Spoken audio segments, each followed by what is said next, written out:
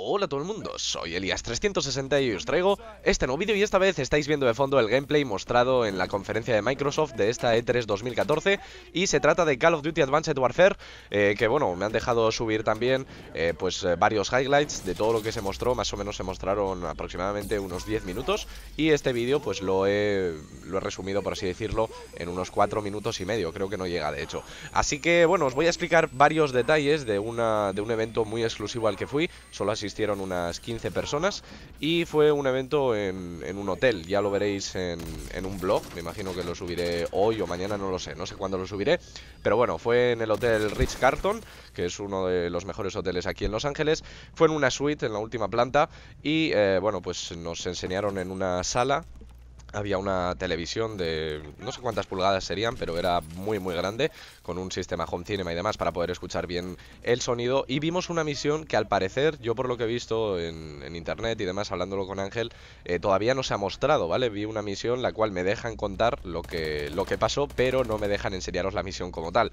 Eh, la misión en concreto eh, se desarrollaba en Bulgaria, si no recuerdo mal, y bueno, consistía en que nosotros salíamos corriendo junto a uno de nuestros compañeros, somos en total cuatro personas y eh, bueno, uno de ellos somos nosotros, evidentemente. Así que estábamos con un compañero corriendo porque nos perseguía un helicóptero disparándonos, ¿no? Eh, bueno, señalizándonos con el foco y disparándonos pues con balas de al parecer bastante calibre, porque habría boquetes incluso en el suelo. Así que bueno, eh, la misión consistía en que teníamos que escapar de ese helicóptero, después teníamos que superar ciertas pruebas de sigilo, por así decirlo, y finalmente nos reuníamos con nuestros dos otros compañeros.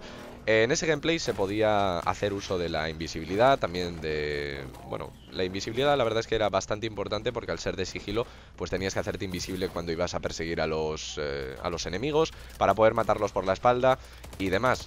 Así que, bueno, a mí esa misión la verdad es que me gustó muchísimo. Esta que estáis viendo ahora también, eh, pues está bastante bien. Creo que se desarrollaba en Nueva York, si no recuerdo mal.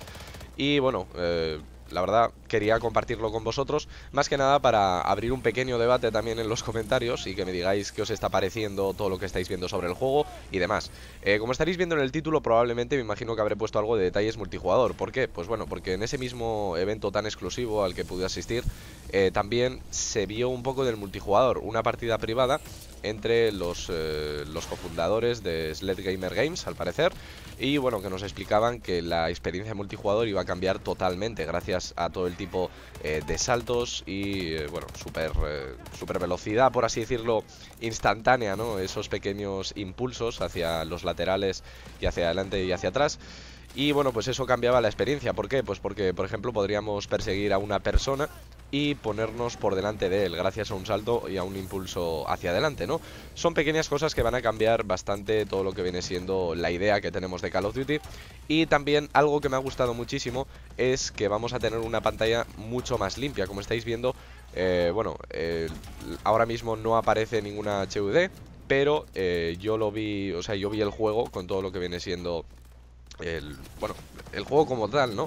Y la verdad es que era muy muy limpio. ¿Por qué? Pues bueno, eh, los cofundadores también de Sled Gamer Games dicen que eh, podría ser algo similar a lo que un soldado puede ver con una Google Glass. Es una pequeña información y se parece bastante a Dead Space, por así decirlo, ¿no? Si queréis compararlo con algún juego, pues podríamos decir que la pantalla es tan limpia como ese mismo juego. Así que nada, poquito más. A mí el tema de los saltos y demás, eh, bueno, puede parecer un poco eh, puede asustar un poco en un principio, pero me está gustando la idea, por lo que voy viendo poco a poco. Así que nada, podéis decirme en los comentarios qué os está pareciendo el juego, podéis debatir siempre con respeto, por favor, no os insultéis entre vosotros ni nada por el estilo. Y nada, como siempre, like y favorito si os lo habéis pasado bien, podéis seguirme en Twitter, en Facebook, suscribiros si no lo estáis, y sin nada más que decir, se despide Elías 360. Hasta la próxima.